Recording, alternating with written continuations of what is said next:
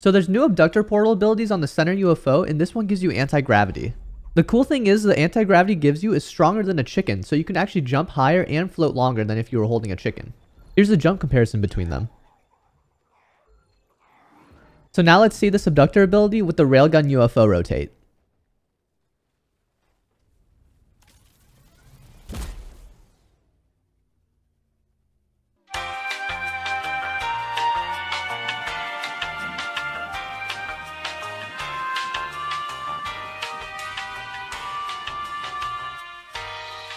哇哦